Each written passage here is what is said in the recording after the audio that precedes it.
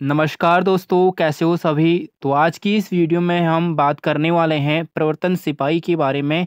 प्रवर्तन सिपाही क्या होते हैं, इनके क्या वर्क होते हैं, साथ ही पुलिस कांस्टेबल और प्रवर्तन सिपाही में क्या डिफरेंट है वर्क के संबंध में पूरी जानकारी आज इस वीडियो में जानने वाले हैं। तो आइए स्टार्ट करते हैं। तो जैसे कि आप सभी लोगों को विदित है कि इसी वीक में आपको एक नोटिफिकेशन आउट किया जाएगा प्रवर्तन सिपाही का और इसका जो डिपार्टमेंट रहता है, पद तो आपका हो गया प्रवर्तन सिपाही और जो डिपार्टमेंट रहता है दोस्तों, विभाग का नाम कह सकते हैं। तो परिवहन विभाग के अंतर्गत आता है आपका और इसमें जो एज का क्राइटेरिया रहता है काफ़ी ज़्यादा रहता है, अठारह से बयालीस वर्ष के कैंडिडेट्स इसके लिए अप्लाई कर सकते हैं और जिसका वेतन मान जो होता है ना, पुलिस कांस्टेबल के अकॉर्डिंग रहता है। पाँच हज़ार दो सौ से लेकर बीस हज़ार दो सौ तक रहता है और ग्रेड जो वेतन होता है इसका, वो दो हज़ार तक रहता है। तो जैसे कि आपको पता है कि जो प्रवर्तन सिपाही है ना, ये बेसिकली जो वर्क करता है, ये उत्तराखंड परिवहन विभाग के अंतर्गत करता है, परिवहन की निगरानी करता है। इसका स्पेशली वर्क जो होता है ना, वो एक इन्फोर्समेंट की तरह ही होता है। यानी कि इसका, यदि हम बात करें प्रवर्तन सिपाही की इंग्लिश का ट्रांसलेशन का तो इसका जो होता है इन्फोर्समेंट ऑफिसर होता है या और इन्फोर्समेंट सिपाही के रूप में इसे जाना जाता है। बाय चांस कोई गाड़ी सड़क पर चल रही है, क्या वो जो वाहन है या फिर कोई मोटर व्हीकल साइकिल जो भी है, वो नियम के अकॉर्डिंग मोटर वाहन के नियम के अकॉर्डिंग चल रही है। या नहीं चल रही है। यदि नहीं चल रही है तो उसे इन्फोर्स किया जाता है। उसके, वो सारे प्रपत्र लिए जाते हैं, जैसे कि वाहन की जितने भी प्रपत्र होते हैं, जैसे कि आरसी हो गया, और साथ ही जो इंश्योरेंस हो गया, और फिटनेस हो गया, साथ ही उसका किस क्षेत्र में परमिट है, किस क्षेत्र में वह, किस क्षेत्र में वह चल सकता है, वह गाड़ी तो वो सारी जो प्रपत्र होते हैं, वो सारे सर्टिफिकेट को देखना ये एक इन्फोर्समेंट यानी प्रवर्तन सिपाही का वर्क होता है। जब प्रवर्तन सिपाही, अब ये खुद तो नहीं करते हैं, लेकिन मतलब जब इनको आदेश दिया जाता है प्रवर्तन अधिकारी के द्वारा तो प्रवर्तन सिपाही तब जो चालक है उससे वो सारे प्रपत्र लेता है और जो प्रपत्र होते हैं, वो परिवर्तन सिपाही यानी इन्फोर्समेंट जो सिपाही होता है वो प्रवर्तन अधिकारी को ये देता है।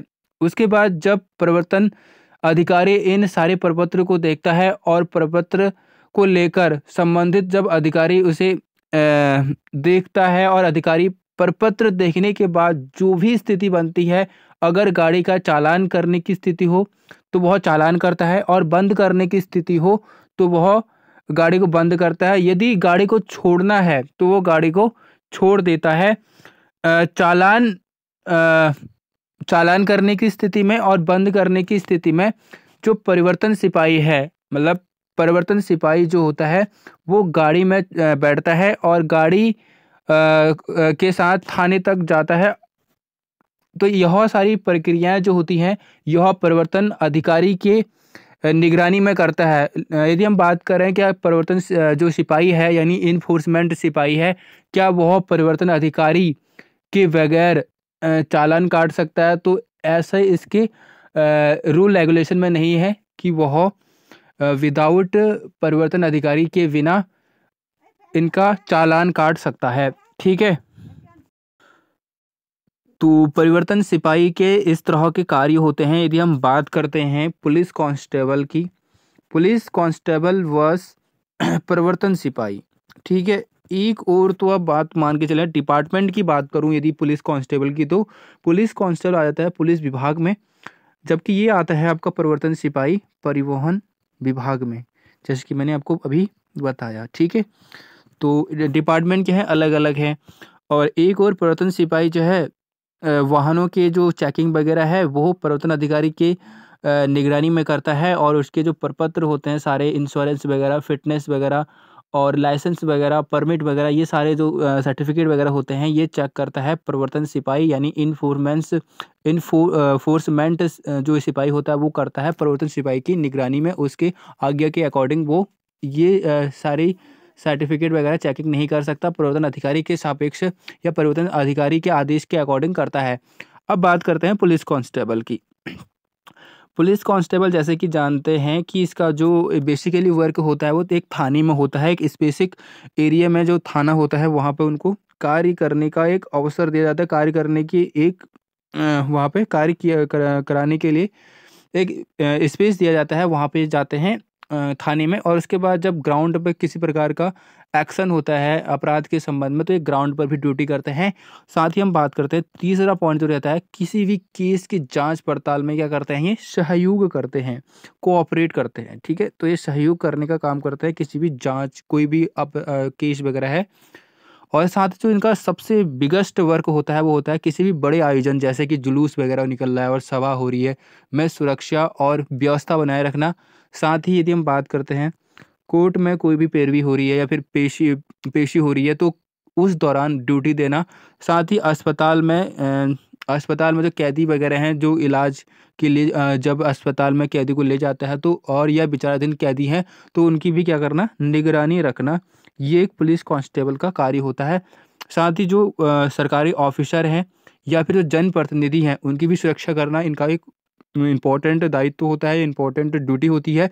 इसके अलावा सीनियर अधिकारी द्वारा जो भी विभागीय कार्य इन्हें सौंपे जाते हैं, उनको पूर्ण करना इनका वर्क होता है।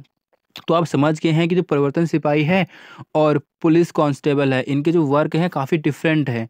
लेकिन जो इनकी एजुकेशनल क्वालिफिकेशन है ट्वेल्थ पास है, क्या है? ट्वेल्थ पास है। जबकि यदि बात करें एज लिमिट का तो एज लिमिट जो है, जहाँ 18 से 23 वर्ष के कैंडिडेट्स पुलिस कांस्टेबल में अप्लाई कर सकते हैं, वहीं दूसरी ओर हम बात करें प्रवर्तन सिपाही, यानी इन्फोर्समेंट सिपाही की तो इसके लिए 18 से 42 वर्ष के कैंडिडेट्स अप्लाई कर सकते हैं। साथ ही जो ग्रेड पे रहता है, वो आपका सेम ही रहता है। लेकिन एज का जो फैक्टर है, वो अलग है। यदि हम बात करें सिलेबस की तो सिलेबस भी आपका सेम रहेगा जैसा पुलिस कांस्टेबल का है। ठीक है? तो जल्द ही इसका एक नोटिस जारी किया जाएगा या विज्ञप्ति आने वाली है इसी वीक में, जो जैसे ही लेटेस्ट अपडेट आती है, आपको तुरंत जानकारी मिल जाएगी। यदि चैनल पर नए हैं, चैनल को ज़रूर सब्सक्राइब करें लेटेस्ट भर्ती अपडेट पाने के लिए। तो आज की वीडियो में इतना ही, मिलते हैं अगले वीडियो में नई जानकारी पाने के लिए। आप टेलीग्राम चैनल को भी ज्वाइन कर सकते हैं। टेलीग्राम चैनल का लिंक इस वीडियो के डिस्क्रिप्शन में दी गया है तो वहाँ से आप डायरेक्ट ज्वाइन कर सकते हैं।